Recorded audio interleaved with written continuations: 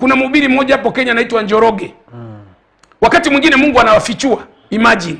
Ikifika wakati wa bwana anawafichua.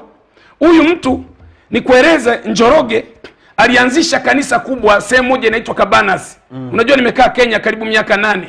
Mm-hmm. sasa ili kanisa lilijaa sana. Na lilijaa kwa sababu ya karama ya uponyaji.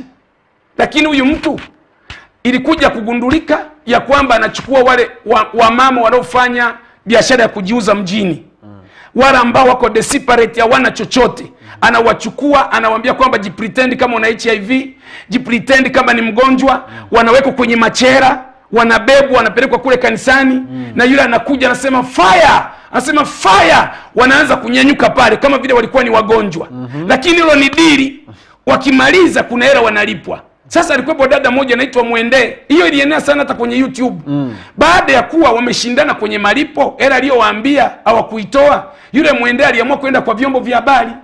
Na akazungumza ya kwamba huyu baba huyu nabii njoroge unaona ameshindwa kunipa hela yangu ambayo tulikuwa tumekubaliana naye.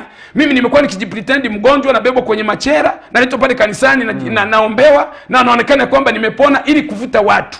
Unaona lakini sasa siri imegundulika mm-hmm. kwa hiyo baada ya kuonekana hivyo ya kwamba siri imegundulika mm. basi ikabidi sasa kanisa lifanye nini? Lisambaratika. Kanisa ambalo likuwa limeshafikisha watu karibu elfu tatu lisambaratika. Na kwa bahati mbaya nasikitika nasikia kwamba huyu binti alipigwa risasi. Ingawa ijulikani aliyemuua yule nabii Au au, ni mtu mwingine. Ya. kwa hiyo kuna wakati mwingine mungu anawadhihirisha matendo. Yeah. okay.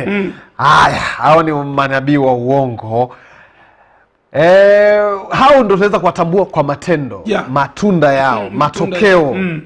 hawa wa ukweli Eh, hawa wa ukweli tunawajuaje ya hawa wa ukweli kwanza ndio maana nasema kwamba kuna tofauti kati ya karama na tunda la roho mm-hmm. unaweza ukawa na karama ya kutenda miujiza uponyaji mm. na ni roho mpaka hapo lakini maisha yako yanakataa mm. kwa sababu wewe ni mwigizaji mm. kuna ambao wanaingia kwenye huduma ni waigizaji hakika ni wafanya biashara mm. Eh?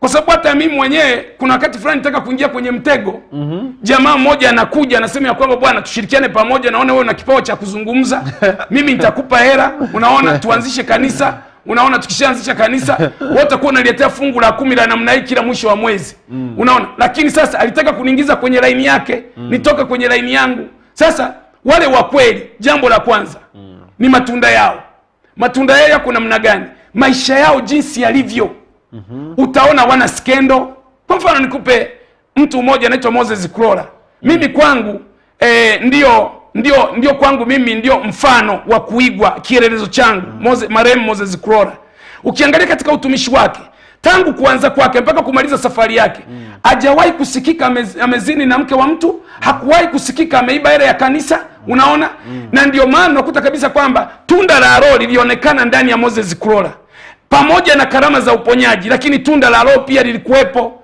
Sasa watu mara nyingi unakuta tunda la roho alipo wanafanya miujiza lakini wanaskendo mara unasikia amekamatwa na mwanamke mara unasikia ameiba sadaka mara unasikia amechomea watu kwenye kanisa kama kibwetere unaona? Kwa hiyo wale wa kweli matunda yao yako wazi. Ni watu ambao wanaishi maisha matakatifu lakini huduma zao pia hazina alama ya kuuliza